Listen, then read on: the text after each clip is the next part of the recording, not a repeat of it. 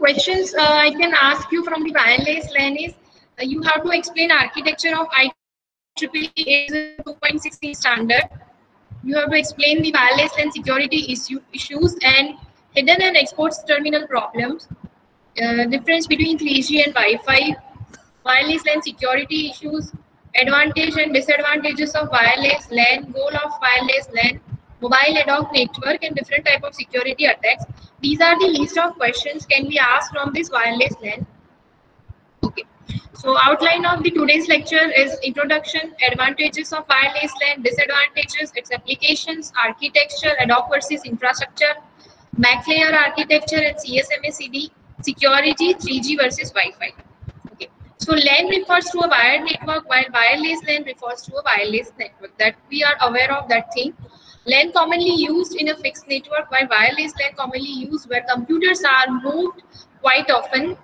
Wireless LAN is more convenient to the user as compared to the LAN. LAN is, we can say, much faster than the wireless LAN. LAN is more secure as compared to wireless LAN. So as we are learning this subject, mobile computing, um, it is wireless technology. So here we are using everything which is wireless, like mobile TCP we are using, then mobile VoIP we are using. Here we are using wireless LAN because it, we are moving with our mobile to anywhere. We can go to bus, we can move through the car. So at that time, we require wire, wireless network. That's why we are using wireless LAN. But I can say that wired LAN is more secure than the wireless LAN as well as more faster. Now some advantages of wireless LAN. The first one is mobility. Second one is speed and simplicity. Third one is installation flexibility. Fourth one is reduced cost of ownership. And fifth one is scalability. First one is mobility. Mobility means what? An increasing number of LAN users becomes becoming mobile. These mobile users are quite that they are connected to the network regardless of where they are because the WAN simultaneously access to the network. So mobility, it can be increased by number of users. Any number of users can join, any number of users can use internet, send data simultaneously through the network. Installation speed and simplicity. Wireless LAN are very easy to install. There is no requirement of any kind of, we can say, workstation wires and a fixed room. Installation flexibility. If a company moves to the much easier to move than the uh, ripping all of the cables in the wired system. You would have connect through the building and also provides a portability. Initially, what we were doing, we were using our computer at home and we are taking internet of that, uh, we have taken internet of BSNL. So BSNL people will come to you uh, and they will install the LAN. Some wire connections are there. That wireless LAN we are fixing to the port of that our pen drive port, uh, like wireless LAN port so we are feeding that wire into our internet and then we are giving username and password and using that particular internet. But nowadays that kind of LAN uh, generally we are using very less because everywhere we cannot keep wire with us, everywhere we cannot uh, use that kind of workstation installation kind of equipment with us. So uh, this is we can say it is flexible than the wired LAN. There is no need of special uh, installation everywhere. Reduced cost of ownership while initial cost of the wireless LAN are higher than the cost of wired LAN hardware, but long-term cost benefits are greater than the dynamic environment require, require, require frequent moves and changes, requiring frequent moves and changes. So at initial level, you have to do some kind of installation like router and uh, something like that you, you have to fix when you want to use Wi-Fi in your room. So at initial level, the cost is high, but then you can use that particular Wi-Fi into, uh, we can say, uh, that particular range of a room and the other room. So everywhere you can use in that particular uh, range your uh, wireless LAN or we can say wi-fi connection. It is a scalable. You can configure a variety of topology to meet the user's need. It can be uh, we can say scalable to more number of users. Now everything is having advantages and disadvantages. So what are the disadvantages of wireless LAN? The first one is lower reliability due to uh, due to uh, uh, susceptibility of radio transmission to noise and interference. As we know that uh, the wireless uh, signals are, we can say, getting problem due to some kind of environment issue, due to some kind of weather issue. So that kind of problem will come. Because of that, the interference and the extra noise will come if environment is not good. If there are there is a rain, there is a cloudy environment. So in that case, fluctuation will be that will be there uh, in that particular received strength signals. So multipath fading should be there because of such kind of environment problem. If there is a rainy environment, then sometimes we are not able to listen. Somebody is speaking with us on phone. Sometimes we are not getting our internet connection properly. If we are changing place, so that kind of fluctuations of strength of received signal is there. Multipath causes the fading also. There are security problems. We can say if connection is wireless, we are every day listening that this data is hacked by some hacker, that bank has uh, lost their money and all these things. Somebody has stolen your documents and all these things. So this kind of problem will, hacking problem will be there.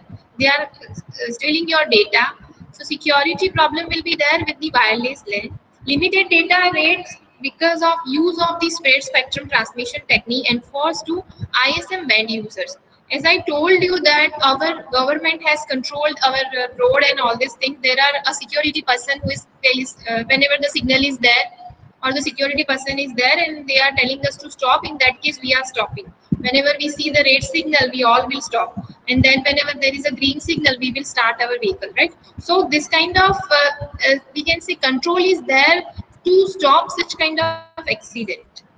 Same way, our spectrum transmission is also controlled by the government. They have assigned certain frequency to certain people. So that kind of, uh, because of certain frequency, there is a limited data rate.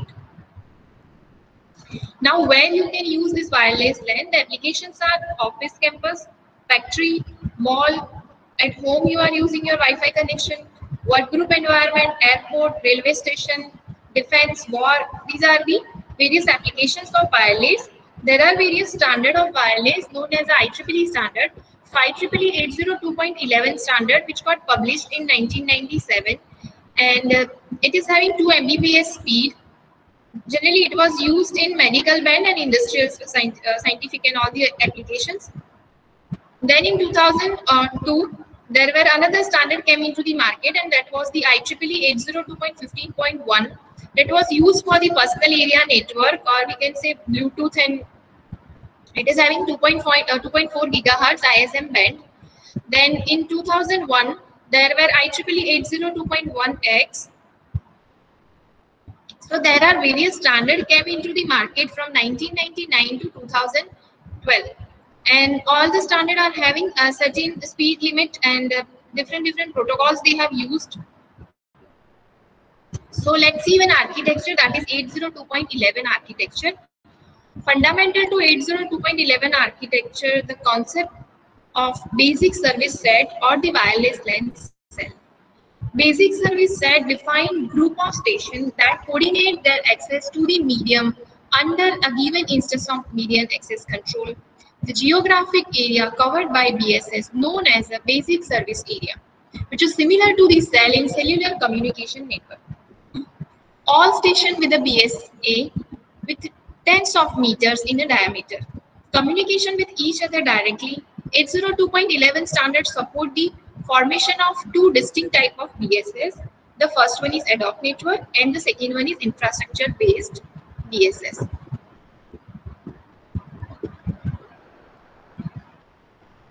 So uh, we can say wireless LAN, there are two system entities, access point and the stations. Stations are nothing but a simple network interface card.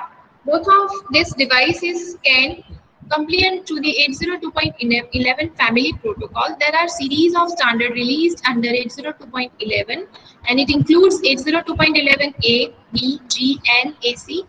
These are the various standards. So here what you have to remember, it is having basic service set. Uh, this basic service set is we can say a area covered by that particular wireless LAN. And the basic service set is having two types. First is ad hoc and the second one is infrastructure based basic service set. Ad hoc based and infrastructure based. So this, uh, let's see one by one. First type of basic service set is known as the ad hoc network, which consists of group of stations within the range of each other. As its name implies, ad hoc network is a temporary network. As we know that ad hoc network is a temporary network. Suppose we are having Bluetooth and we want to send uh, some data to our friend through that particular Bluetooth range. So at that time, temporary network will going to create to send and receive data from each other. So that network is called ad hoc network, which is not permanent, which is temporary in nature. Whenever we off our Bluetooth, that network is going to, we can see close. So such kind of a network is known as ad hoc network. So which are typically created and maintained as needed without prior administrative arrangement. Ad hoc networks can be formed anywhere simultaneously. It can be disbanded after a uh, we can say limited period of time. Instantly you can start it anywhere. Instantly you can close it anywhere. So I told you the example of Bluetooth, which is the best example of ad hoc network. You can see here ad hoc network basic service set. The area which is going to cover by the ad hoc network that is known as a basic service set. Uh, in, during Bluetooth, I explained you what is PicoNet, what is ScatterNet. PicoNet was what? What was it? We were having maximum eight devices, seven slaves and one master. So master and slaves are connected with each other and they are forming one PicoNet and the one slave will become master for the other network and other six devices are connected with that particular master. So that is uh, it is going to scatter and that is known as a scatter net. That we have gone through when i have explained you bluetooth. Piconet and scatter net. In ad hoc mode wireless uh, network is composed of only stations which will not be uh, any access point into the network. The network system stations communicate directly with one another. It is also referred as independent basic service set or peer-to-peer -peer mode. Here communication is directly over wireless radio wave and compliant 802.11 packets. Ad hoc mode is suitable for quick wireless connection setup in office rooms, hotels, or in places where wired infrastructure is not available. So using this Wi-Fi connection, you can establish your network anywhere. You can send your data in that particular range. So next is infrastructure mode. Second type of BSS is known as a IBSS, infrastructure mode BSS, that is commonly used in practice.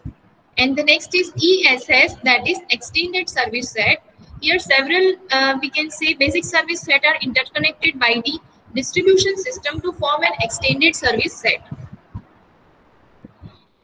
You can see here, uh, we are having this Wi-Fi range and we are having access point in one room and access point in other room and other floor. So they can access the data, they can communicate with uh, each other.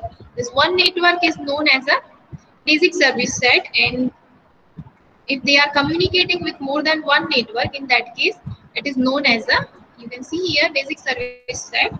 And when they are combining, it will become a extended service set. So basic service set are like a cell in cellular communication network. Each basic service set provided with an access point and that has a station functionality and provides access to the distributed system. Access points are operated on fixed channel and remain stationary like base station in a cellular communication system. APIs are located such that the BSS they serve overlap slightly to provide continuous service to all the stations. So you can see here uh, there is an access point of this Wi-Fi and through this access point there are so many computers or we can say wireless devices are connected and they they all make with um, they can create one kind of infrastructure based basic service set. And whenever more than one infrastructure based service set are going to combine, it will become extended service set. They are extending their services. So ESS can provide gateway access for wireless users into wired network. Each end station associate itself with one access point. There are three BSS interconnected through the three apps of distribution so if in one place you are having access point, uh, you can join your uh, some of the devices, but at some other place you can extend that wire, give the new connection, and you can again set up something uh, for the new devices. So you can extend in this way. Now I'm going to explain you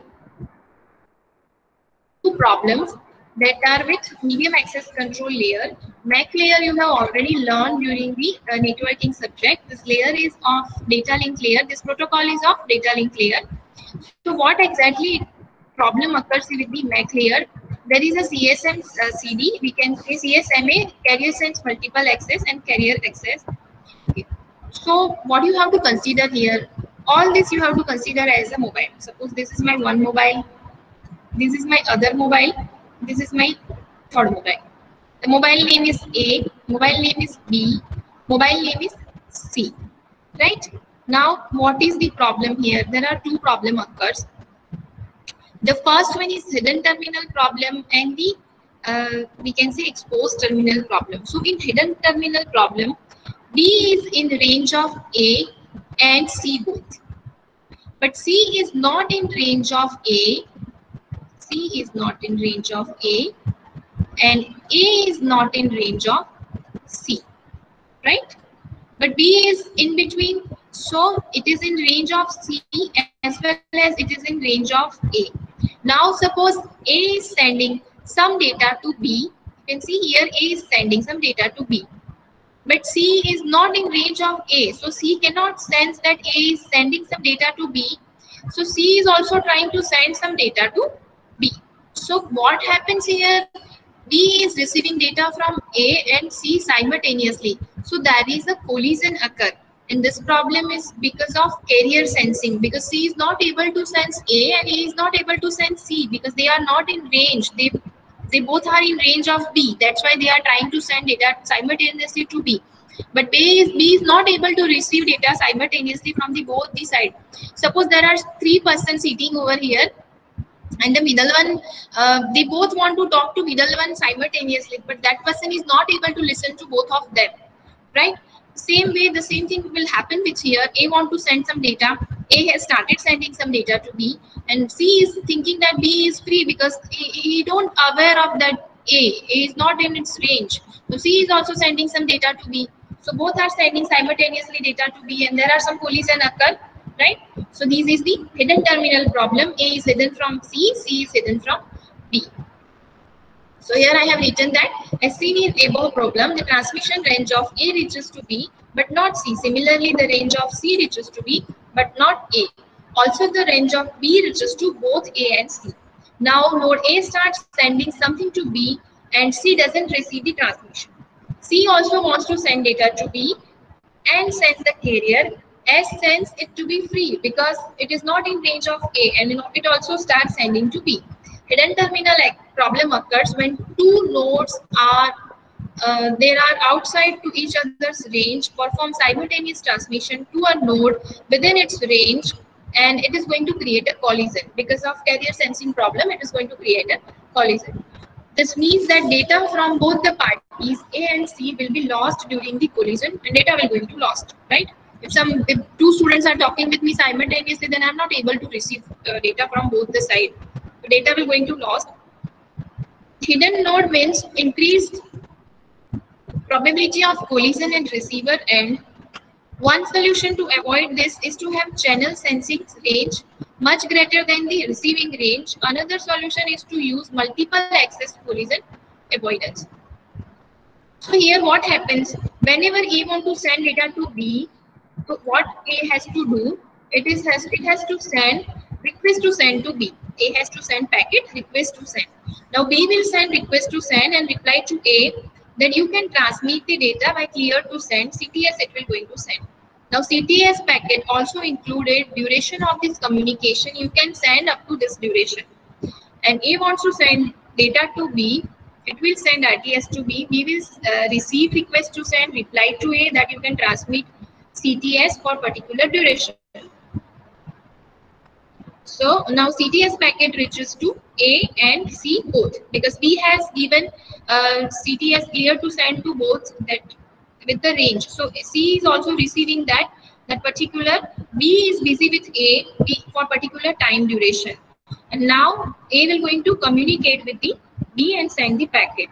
So at that duration, she, C is aware that B is not a free, some, something B is receiving from the sender A. So this problem is going to avoid. And the next problem is exposed terminal problem. You can see in this figure. Now what happens here? You can see here. C is in range of B, right? Now C is not in range of A, but it is in range of, uh, sorry, B is in range of C, right? Okay. Now, suppose C wants to send some data to B. Okay. And uh, A is sending some data to B. But what C can uh, uh think that, no, no, B is busy. The carrier is busy because it is in range of this B. So I cannot send, but it can send because it doesn't have anything to do with B. It has to do something with D. Yes, it has to send something to somebody else, not a B. Even though B is busy, even though carrier is busy, it can send but because of same range, C is not able to identify that I can send data to D even though B is busy. So this kind of problem is known as the exposed terminal problem. Let's see an example. So we can say from this diagram, uh, when B node is currently sending some data to A, okay, B node is sending some data to, we can say node A now other node C, which is right now free, want to send data to node D, which is outside of the range of A and B, right? C is in range of this A and B, but C is outside of the, D is outside of the range of this A, B and C, right? Now before starting the transmission, it sends the carrier and realize the carrier is busy due to interference of these signal. Hence C node postpone the transmission to D until it detect the medium idle. However, such a wait was unnecessary as A was outside the interference range of C. Also, collision at B will be weak enough to be unable to pretend into C.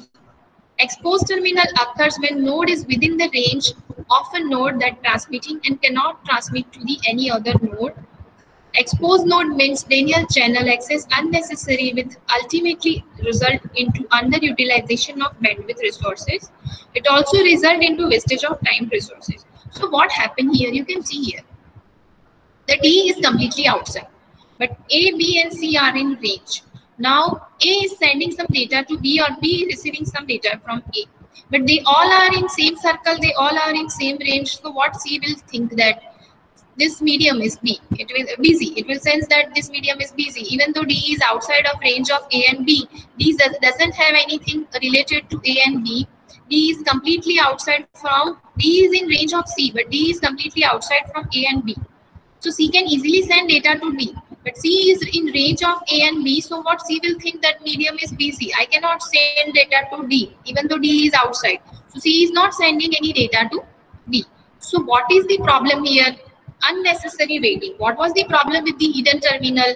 That uh, collision was occurring. Both the parties are sending parallelly uh, because of that carrier sensing uh, mechanism. So was not able to sense the carrier and both the parties are sending parallelly. So there were collision occur, packet loss was occur. And in exposed uh, terminal problem, carrier is sensing, but because of wrong sensing of carrier, we can say unnecessary waiting was there so these are the uh, disadvantages of we can say exposed terminal problem. Okay, today I'm going to uh, stop here. You have to wait.